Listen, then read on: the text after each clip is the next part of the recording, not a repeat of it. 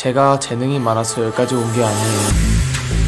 프로의 길은 노력으로 길고 닦아야지만 끝까지 갈 수가 있어요. 시간, 돈, 그리고 헌신. 이것들에 투자하면 그 어떤 장벽도 다 넘어설 수 있어요. 제 이름은 야키입니다. 재능이 아닌 노력으로 여기까지 왔습니다.